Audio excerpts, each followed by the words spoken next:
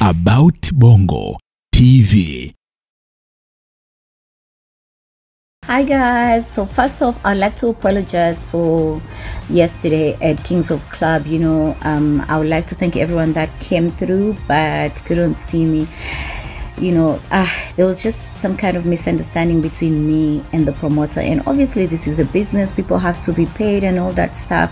And if certain things are not met, um, you know, according to the agreement that we had between me and the promoter, obviously there's no way I would leave my hotel room to, you know, attend a club. Um, there's no way I could have flown 24 hours from Africa to be in the UK and not come to, you know, the white party. So I would like to apologize. Um, thank you so much for coming out yesterday, but this has nothing to do with anyone. It's just me and the promoter. It's a business. I have to be paid. And if that's not going to happen unfortunately i am not putting my face to that. So apologies you know but thank you so much and obviously you're going to see a lot of things online because bloggers are very interested in you know everything that's not nice. They love that. But it's just clearly that at that time it got to almost four when the club is almost closing. And for me there was no payments. And this person is literally forcing me to go to the club. And i'm like but how? It's a business. I need to be paid.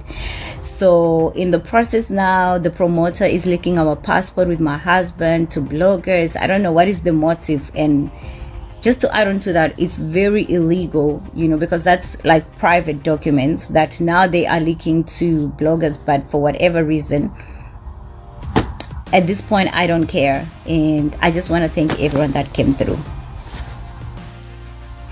Well well well looking at the brighter side of things people are like oh you're dating a child. He's almost your son's age. He's not even 18 really the brighter side of things right now is you get to know my husband is a fully grown ass man and he's not a child okay? Okay?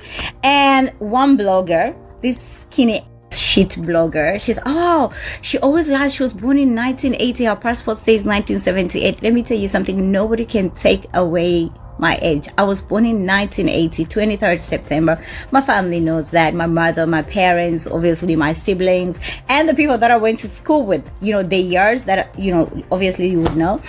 People know. But when people travel, people change names, people change uh, dates of their birth. People change a lot of things, you know, for whatever reason when they travel to other countries. So for me, that's nothing. I was born in 1980 and my man is 30 plus. Huyo ni Zari the Boss Lady. Hapo alikuwa anaongea kuhusiana na kitu ambacho kinaendelea kupitia mitandao ya kijamii kumuhusu yeye pamoja na mpenzi wake ambaye anafahamika kama Shabik Cham, ya kwamba Zari the Boss Lady amempita miaka mingi sana Shabik Cham. Kupitia hayo maneno ambayo ameongea hapo, Zari anasema ya kwamba hicho kitu ambacho kimepostiwa sio cha kweli. Hizo passport ambazo zimepostiwa na promoter ambaye anahusika na show ambayo Zari aliandaliwa huko, ambayo ilikuwa inaitwa Zari White uh, Party, ambayo show hiyo ilitakiwa kufanyika huko na yeye akashindwa kwenda kutokana na kwamba akumaliziwa gharama zake zote ambazo alitakiwa alipwe. Hivyo promota wa tamasha hilo, promota wa kitu ambacho amekiandaa, akaamua kuweka passport za kusafiria za Zari pamoja na mpenzi wake Shabik Cham, ambapo inaonyesha ya kuwa Shabik Cham amezaliwa tarehe 15 mwezi wa 12 1992, alafu Zari the Boss Lady amezaliwa 23 Septemba 1978. Hapa inaonekana ya kwamba Zari amempita miaka takriban kumi na mpenzi wake huyu Shabik Cham, lakini sasa Zari amekanusha kwa kusema ya kwamba yeye amezaliwa 1980. Hivyo hiyo sio kweli ambayo inaonekana hapo, kwa kuwa kile kile ambacho kinaongelewa ya kwamba Zari ni mkubwa kwenda kwa mpenzi wake Shabik Cham, kweli ni mkubwa, amemzidi, lakini amekanusha na kusema ya kwamba yeye hakuzaliwa mwaka huo, na watu ambao amesoma nao wote wanajua kwamba Zari amezaliwa mwaka gani, na ndiyo maana amekuwa akithibitisha kupitia mtandao wake kijamii wa Instagram. Kwanza aliomba radhi kutokana na kwamba hakutokea kuna hiyo hapo show ambako aliandaliwa kwenye klabu hakutokea, lakini pia kuachana na kuomba radhi, amefunguka juu ya hicho ambacho kimepostiwa kupitia mitandao ya kijamii sio tofauti tofauti. Wewe unalipi na kuniambia? Andika kwenye comment hapo chini, lakini pia una ushauri gani kwenda kwa Zari the Boss Lady kutokana na kwamba yupo katika mahusiano na mtu ambaye amemzidi umri? Sio kitu cha ajabu, lakini wewe una kipi cha kuandika? Niandikie hapo. Mimi naitwa Dylan, sauti ya mjumbe burudani. Subscribe ili kuendelea kufuatilia About Bongo TV na kupata taarifa zetu kila siku na kwa wakati sahihi. Hi guys. So first off, I'd like to apologize for yesterday at Kings of Club. You know, um, I would like to thank everyone that came through but couldn't see me.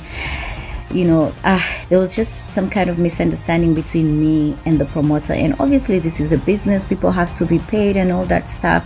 And if certain things are not met, um, you know, according to the agreement that we had between me and the promoter, obviously, there's no way I would leave my hotel room to you know attend a club. Um, there's no way i could have flown 24 hours from africa to be in the uk and not come to you know the white party. So i would like to apologize. Um, thank you so much for coming out yesterday but this has nothing to do with anyone. It's just me and the promoter. It's a business. I have to be paid. And if that's not going to happen unfortunately i am not putting my face to that. So apologies you know but thank you so much and obviously you're going to see a lot of things online because bloggers are very interested in you know everything that's not nice. They love that.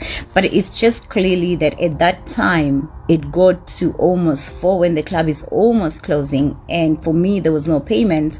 And this person is literally forcing me to go to the club. And i'm like but how? It's a business. I need to be paid.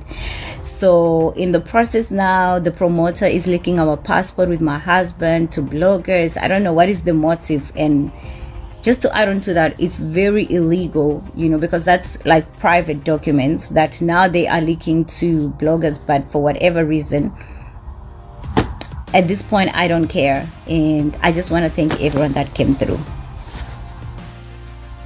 Well well well looking at the brighter side of things people are like oh you're dating a child. He's almost your son's age. He's not even 18 really the brighter side of things right now is you get to know my husband is a fully grown ass man and he's not a child. Okay? Okay?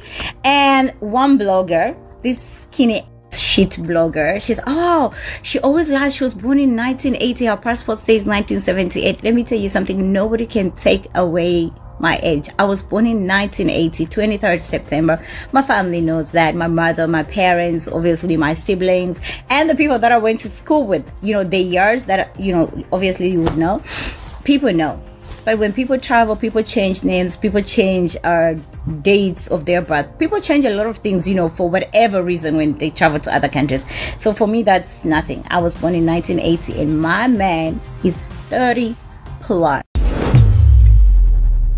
About Bongo TV.